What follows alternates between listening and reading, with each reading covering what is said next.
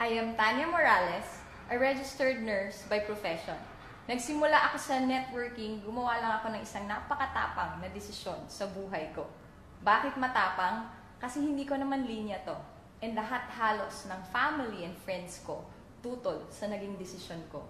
Bakit ko daw pinagpalit yung profession ko sa isang bagay na wala naman akong kaalam-alam paano gawin? Pero ako yung nakakita ng opportunity and since buhay ko to, sabi ko sa sarili ko nun, I have to take charge of it.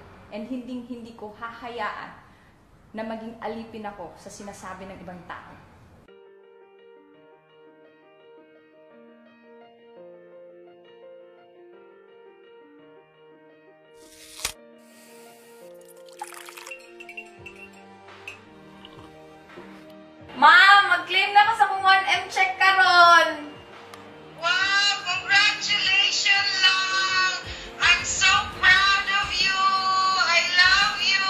I started at the age of 19. Hindi rin siya naging madali kasi I failed three times on my previous companies. Ganun naman talaga sa buhay. Madadapa at masasaktan ka talaga. Kaya kung madadapa at masasaktan ka na rin lang, piliin mo na yung worth it. Hanggang sa na-invite ako ulit dito sa AIM Global. Dito ko nahanap yung mga tao na tumulong at nag-guide sa akin. Sina uplines Louis Gascon and upline Joseph Lee. And dito ko rin nakita yung bigger picture ng networking. Dito ko rin na-meet yung mga multi-millionaires, even billionaires in the industry.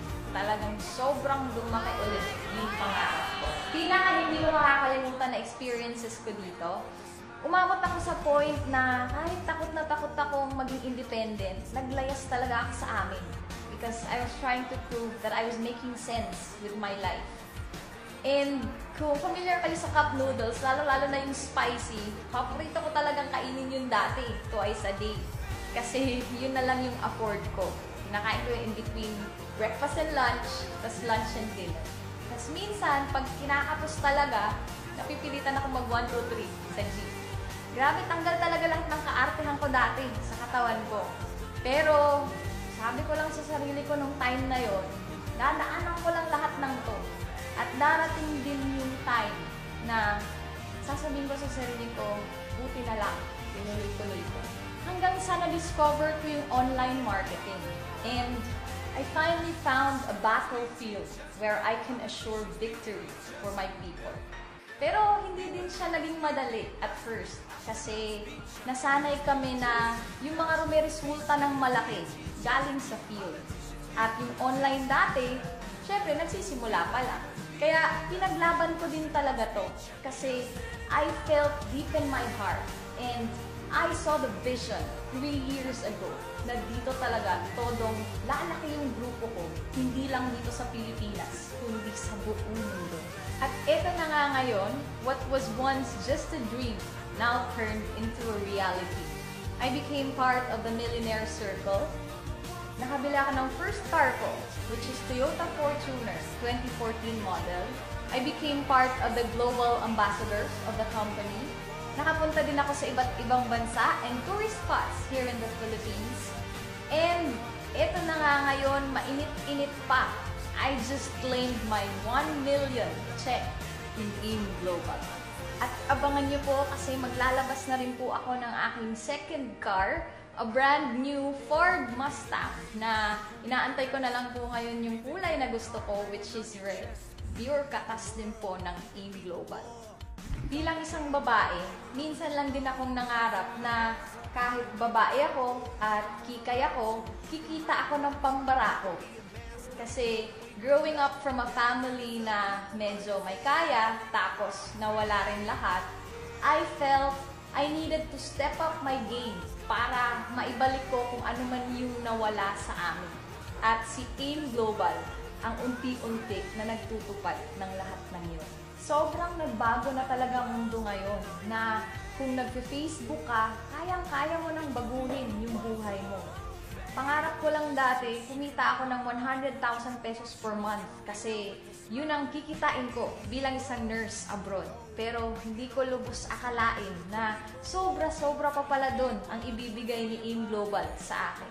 Lahat lahat ng sipag, pagtsatsaga, pagod, puyat, discouragements at rejections, bayad lahat. Kaya sa lahat ng mga naghahanap ng break sa buhay, babae ka man o lalaki at nandito ka lang sa Pilipinas, it's about time na sumubok ka ng something na bago. Kasi kung dyan sa ginagawa mo ngayon at sa linya mo ngayon, hindi masyadong nagbabago yung buhay mo, subukan mo tong hindi mo linya. Baka dito na tuluyan magbago yung buhay mo. At sa lahat naman ng mga kababayan kong OFWs all over the world, saludong saludo po ako sa inyo sa sipag, sa tapang at sa lakas ng loob mong makipagsapalaran dyan sa ibang bansa. Pero kung ikaw, ina, ama, or anak, at miss na miss mo na yung family mo, gustong gusto mo silang makasama, at tumatagal ka dyan sa ibang bansa na wala masyadong nangyayaring pagbabago sa buhay mo, samahan mo po kami sa misyon namin na tulungan ang mga kagaya mo para magkaroon ka ng another source of income and mapauwi mo po yung sarili mo dito sa Pilipinas. Kasi naniniwala po kami, naniniwala po ako na hindi po sapat ang pera para maging dahilan na mawalay ka sa family mo. At kung pera na rin lang, kayang-kaya natin solusyonan yan dito sa AIM Global. Etong buhay na to na meron ako ngayon, kayang-kaya mo rin to. Magtiwala ka lang ulit sa sarili mo, desisyonan mo lang. Na babaguhin mo yung buhay mo at panindigan mo lang yung desisyon na yon hanggang sa makuha mo lahat yung mga pangarap na nandyan sa puso mo. Kasi walang ibang magtutupad niyan kundi ikaw.